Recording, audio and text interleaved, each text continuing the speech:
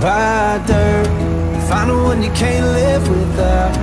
Get a ring, let your knee hit the ground. Do what you love but call it work. And throw a little money in the plate it serves